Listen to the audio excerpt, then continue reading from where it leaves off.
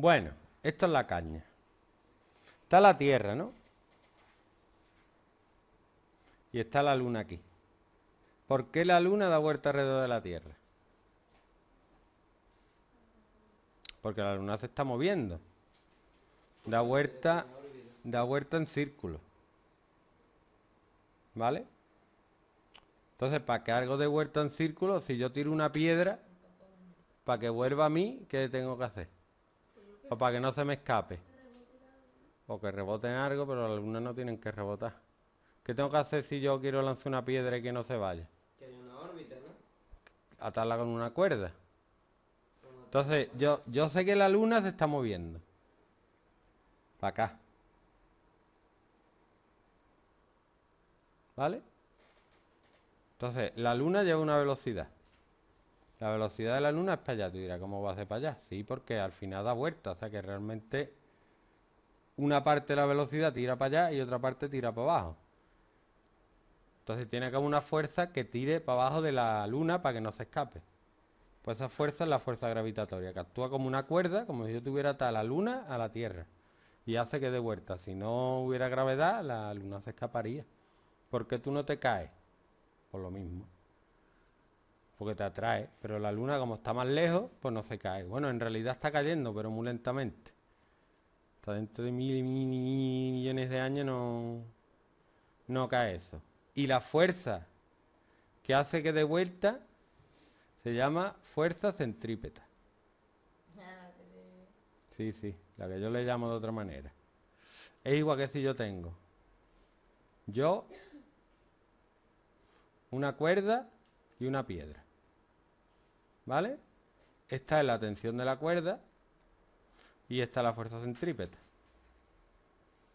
Si no hubiera fuerza centrípeta, ¿qué le pasaría? Que se caería. O sea, se sí, se caería. ¿No? ¿Y qué es la que hace que no se vaya la piedra? La tensión. Entonces la componente de las dos hace que dé vuelta.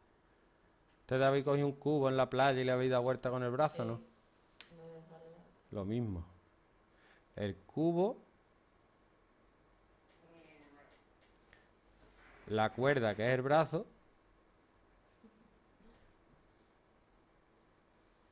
¿por qué no se cae el agua? Por la presión. ¿Y quién da la presión? Porque por un lado está el peso, el peso haría que se cayera el agua, pero como está dando vuelta, no se cae. Si yo la dejo quieta, cuando llego arriba, hace el agua ra. ¿Por qué? Porque lo paro, paro de, hacer fuerza y la suelto. ¿Y qué haría? Haría así, ¡pum! y le caería quien fuera. Pero si yo fuera capaz de parar el brazo y dejar la- la- el cubo así, el agua se caería. Bueno, pues estas son las fuerzas que actúan sobre la luna para que dé vuelta.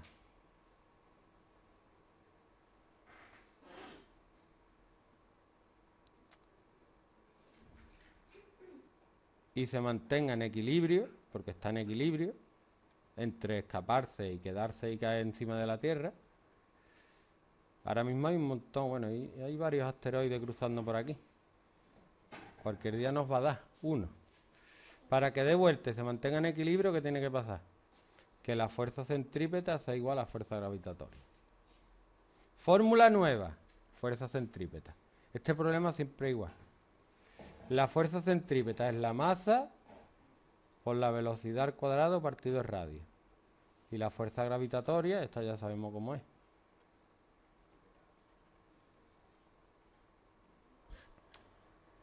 Entonces yo de aquí puedo despejar el qué. ¿Qué puedo calcular? Yo igualando estas dos cosas. ¿Mm? Sí. Fíjate que la masa no influye. Si a ti te sueltan a la misma altura que la luna, vas dando vuelta igual que la luna. Puedo despejar la velocidad. No se puede quitar un radio. Sí. Para despejar la velocidad paso esto aquí multiplicando y queda que la velocidad al cuadrado es g por m por m por r. Quitarle un radio y ya está. Espera. Que eres tú muy rápida. Entonces la velocidad que lleva la luna es esta. O sea, puedo calcular lo rápido que va la luna. Esto sería la masa de la luna. Luna. Tierra. ¿Vale? ¿Vale o no vale? Y ahora te voy a dejar a ti que sustituya los números y que te dé lo que da aquí, que es 1019 metros por segundo. Va un kilómetro por segundo. Casi nada. Pero todavía me falta una cosa que explicarte, que son los movimientos circulares. En los movimientos circulares te lo expliqué y te dije que el arco, que era esto, vamos a llamar S, era igual al ángulo por el radio. También te expliqué que la velocidad lineal era la velocidad angular por el radio. ¿Te acuerdas de los radianes y todo eso? Cuando daba vuelta el... ¿Yo verdad que? Sí. Venga. Velocidad igual a velocidad angular por el radio. Más, más allá voy todavía. La velocidad angular es 2pi partido el periodo. Y el periodo es el tiempo que tarda en dar una vuelta. Entonces te voy a poner de aquí, de aquí.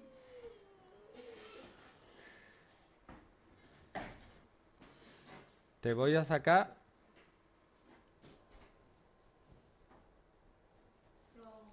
el periodo.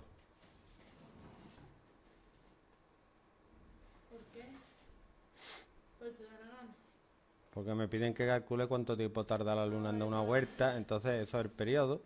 Que tú ya sabes cuál es el periodo. Pero vamos. Y sustituyendo la velocidad angular, que también la saco de aquí. La velocidad angular es la velocidad lineal partido radio. qué pesada, ¿eh?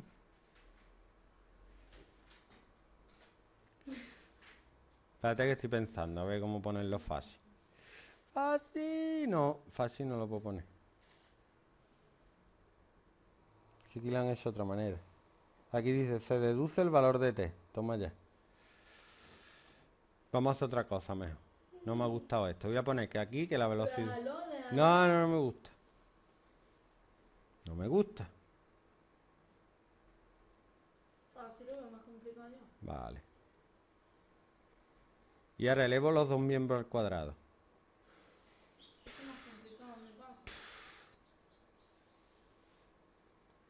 Pues aquí lo hacen así, así que nos vamos a tener que jorobar.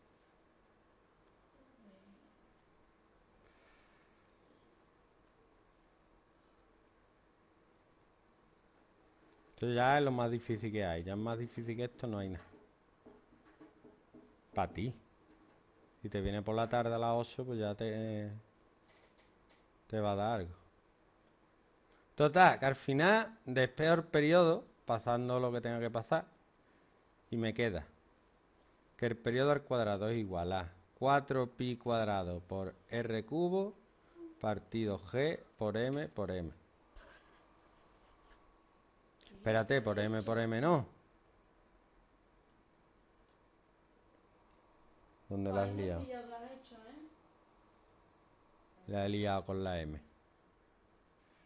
Aquí no va la m. La M no va aquí, la he liado.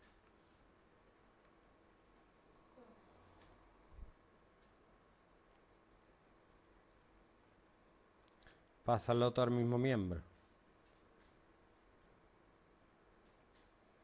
He pasado esto aquí multiplicándote cuadrado, GM lo pasa abajo y R lo pasa arriba. Total, que el periodo es la raíz de... Pero lo único que tienes que hacer ahora es sustituir los datos y aprendértelo si te va a caer.